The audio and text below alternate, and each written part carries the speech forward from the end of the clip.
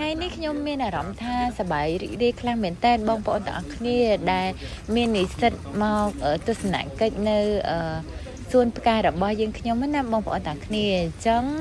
និស្សិតដែលចង់មករៀនបណ្ដោះរៀនដាំរៀនស្គាល់ពីរុក្ខជាតិទាំងអស់អាចនឹងមក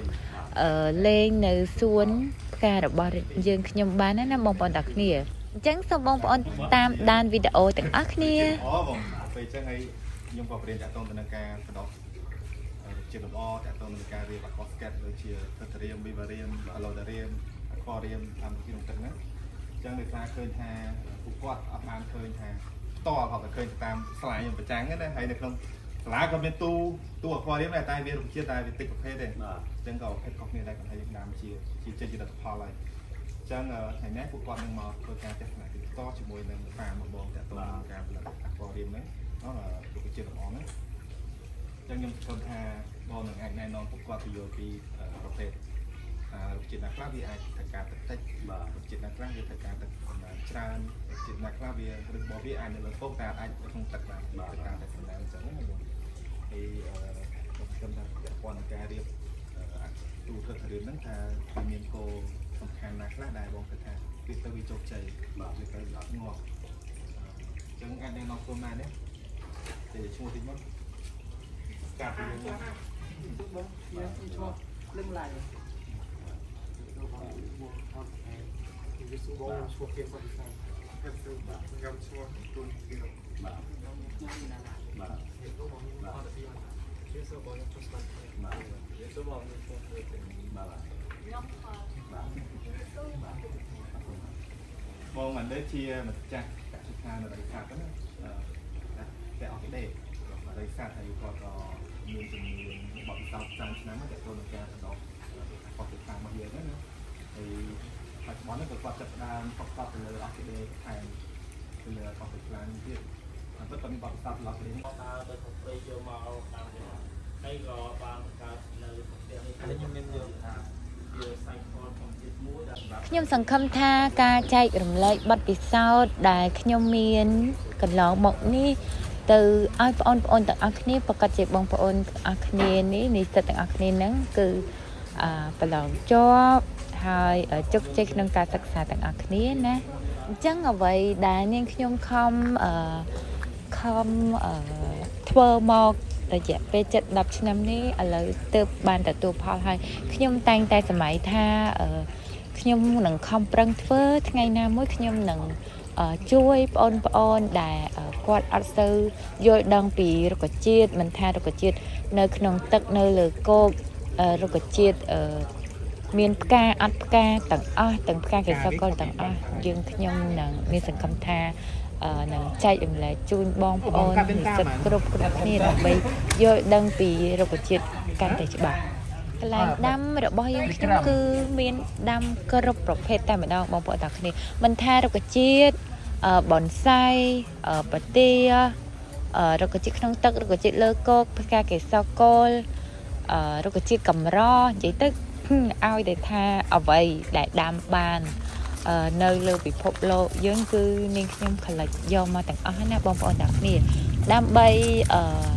រៀនឲ្យបានកាន់តែច្រើនយល់ដឹងកាន់តែច្រើនឡើងឥឡូវខ្ញុំយល់ដឹងកាន់តែច្រើនខ្ញុំនឹងរំលែកបទពិសោធន៍ខ្ញុំដែលមានកន្លងមកជូនទៅនិស្សិតទាំងអស់គ្នាខ្ញុំមើលទៅទឹកមុខនិស្សិតម្នាក់ម្នាក់គឺគាត់ ឆ្ងល់ហើយគាត់សប្បាយរីករាយខ្លាំងមែនតើដែលគាត់គិតថាចេះអូផ្កាមានច្រើនមកខ្លាំងមែនតើមកដល់ទីនេះគឺអ្វីក៏មានដែរនិយាយទៅអ្វីក៏ខ្ញុំដាំដែរបងប្អូនទាំងអស់គ្នាខ្ញុំចូលចិត្តអឺខលិចពូជដែលគិតថាកម្រនៅលើពិភពលោកគិតថាអឺអ្វីដែលពិបាកខ្ញុំព្យាយាមចង់ចង់ចេះចង់ធ្វើណាបងប្អូនទាំងគ្នាហើយខ្ញុំក៏អត់ បានរៀនពីសាលាអីទេបងប្អូនទាំងគ្នាខ្ញុំស្រាវជ្រាវមកខ្លួនឯងស្រាវជ្រាវពី social media ស្រាវជ្រាវពីសភៅអីចឹងណាបងប្អូនទាំងគ្នាអញ្ចឹងនិស្សិតថ្ងៃនេះមកចុះកម្មសិក្សាផ្នែករុក្ខជាតិនៅក្នុងទឹកប៉ុន្តែដោយសារនៅផ្ទះនៅកន្លែងដាំរបស់នាងខ្ញុំនេះគឺមានសັບមកតែម្ដងអញ្ចឹងគឺខ្ញុំណែនាំឲ្យសັບមកតែម្ដងអឺ មានអ្វីគឺណែនាំនឹងអញ្ចឹងមកអឺលេងសួនផ្ការបស់នាងខ្ញុំគឺអាចក្តោបទៅកសិកម្មអឺច្រើនមុខខ្លាំងមែនតើបងប្អូនទាំងគ្នាមិនមែនតែមួយមុខទេគឺច្រើនមុខខ្លាំងមែនតើបើបងប្អូននិស្សិតដែលចង់ចូលមកអឺ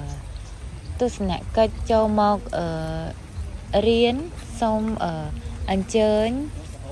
មក តែសូមណាត់ទុកជាមុនណាបងប្អូនទាំងគ្នា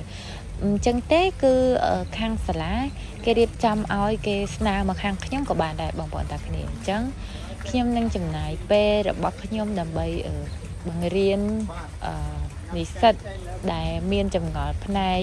ដាំដុះណាបងប្អូនតាគ្នា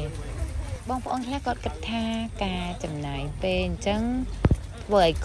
ខាត់ពេលវេលាខាត់ប្រយោជន៍របស់គាត់អញ្ចឹងណាបងប្អូនតាគ្នាតែសម្រាប់ខ្ញុំគឺខ្ញុំរីករាយនឹងចែករំលែកបទពិសោធន៍ចែករំលែកទីតាំងដែលខ្ញុំបានដាំជូនទៅបងអូនបងអូនមើលជាក់ស្ដែងដើម្បីឲ្យបងអូនបងអូនឆាប់ចេះឆាប់យល់ឆាប់ប្រឡងជាប់ទាំងអស់គ្នាណាបងប្អូនពីព្រោះហេតុអីពីការដែលដំបងខ្ញុំដាំរុក្ខជាតិខ្ញុំដាំផ្កាកេសរកលគឺ ខ្ញុំលំបាកណាស់បងប្អូនតាគ្នាខ្ញុំលំបាកខ្លាំងមែនតើដែលពេលគិតថាអឺអត់ដឹងថាទៅរៀនពីណាអត់ដឹងថាទៅមើលកន្លែងដាំមួយណាទេដែលគេគិតថាគេបើកឲ្យចូលមើលបានដើម្បីឲ្យយើងស្វែងយល់ណាគឺអត់មានទេហើយសម្រាប់ប្រទេសជិតខាងវិញគឺពិបាកពេលដែលថាយើងចង់អឺចង់ចូលទៅរៀនក្នុងកន្លែងដាំផ្ការបស់គេគឺអត់ទេ គេមិនងាយឲ្យយើងទៅទេបងប្អូនទាំងអស់គ្នាអើយតែសម្រាប់ខ្ញុំខ្ញុំចង់ចែករំលែកឲ្យបងប្អូនទាំងអស់ចេះចេះដាំផ្កាចេះដាំរុក្ខជាតិបានល្អដូចគេដែរណាបងប្អូនទាំងគ្នាអញ្ចឹងខ្ញុំគិតថាខ្ញុំនឹងចំណាយពេលដើម្បីបង្រៀនដើម្បីបង្ហាញជូននិស្សិតគ្រប់គ្រប់លោកដែលមានបំណងចង់ចេះ ចង់យល់ដឹងពីរុក្ខជាតិណាបងប្អូនទាំងគ្នាបងប្អូនទាំងគ្នាការដែលយើងរៀបទីតាំងឲ្យត្រូវបងប្អូនទាំងគ្នាពេលខ្លះយើងអត់បាច់ចាំដាំដោះមើលថែទេគឺដោះខ្លួនឯងហ្មងណាបងប្អូនទាំងគ្នារុក្ខជាតិនេះបើសិនជាទីតាំងត្រូវហើយគឺដោះដោះដូចព្រៃអញ្ចឹងណាបងប្អូនទាំងគ្នាពេលខ្លះរុក្ខជាតិខ្លះដោះច្រើនពេកនាងខ្ញុំត្រូវតែបោចវាចោលព្រោះថាវាដោះច្រើនពេកទេណាបងប្អូនទាំងគ្នាអញ្ចឹង ខ្ញុំអឺគិតថាវាអត់ពិបាកឯណាបងប្អូនតាគ្នារៀនស្វែងយល់អឺបន្ថែមទៅយើងអាចអឺអាចទៅមុខបានណាបងប្អូនតាគ្នាកុំចាស់ចាញ់បងប្អូនតាគ្នារឿងអ្វីក៏ដោយការធ្វើអ្វីក៏ដោយក៏មានឧបសគ្គដែរបងប្អូនតាគ្នាមិនមែនងាយស្រួលទាំងអស់ទេប៉ុន្តែសូមបងប្អូនទាំងអស់គ្នាសូមនិស្សិតសូមបងប្អូនយល់ដឹងឲ្យច្រើន ពេលដែលថាយើងយល់ដឹងច្រើនយើងដឹងពីតិចនិចនៃការដាំដឹងពីជីវិតនៃការដាំគឺយើងស្រួលដាំខ្លាំងមែនតើបងប្អូនតាគ្នាអញ្ចឹងបើបងប្អូនពេញចិត្តនៅអ្វីដែលខ្ញុំធ្វើសូមបងប្អូនជួយ like និង share ដើម្បីឲ្យខាងសាលាផ្សេងផ្សេងដែលគាត់គិតថាអត់មានកន្លែងដែល ឲ្យនិស្សិតចុះកម្មសិក្សាបងប្អូនទាំងគ្នានឹងឲ្យគាត់បានឃើញថានាងខ្ញុំបើកឲ្យសិស្សនិស្សិតចុះមកកម្មសិក្សាទាំងអស់ណាបងប្អូនទាំងគ្នាមិនថានិស្សិតផ្នែកអ្វីក៏ដោយ ដែលគាត់ចង់ចេះចង់អឺចង់រៀនពីផ្នែករុក្ខជាតិណាមួយ គឺគាត់អាចមករៀនបាន ហើយអាចតាក់ទងមកចូល page នឹងបានណាបងប្អូនទាំងគ្នា សូមអរគុណបងប្អូនទាំងអស់គ្នាជូនពរបងប្អូនទាំងអស់គ្នាមានសុខភាពល្អជោគជ័យគ្រប់ភារកិច្ចណាបងប្អូនទាំងគ្នាជម្រាបលាបងប្អូនទាំងគ្នាជួបគ្នានៅវីដេអូក្រោយ